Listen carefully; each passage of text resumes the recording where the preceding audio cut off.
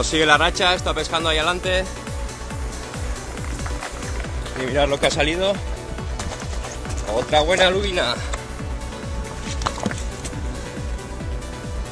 Le ha dado al Mino, Slim Fly o...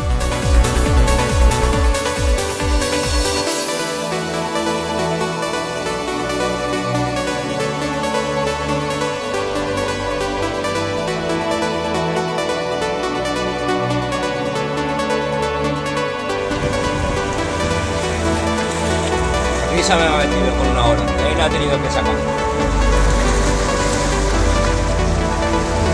Ha pegado la altura de la roca esa de la izquierda, ha que pasar la punta esta por encima con una ola me ha aterrizado aquí.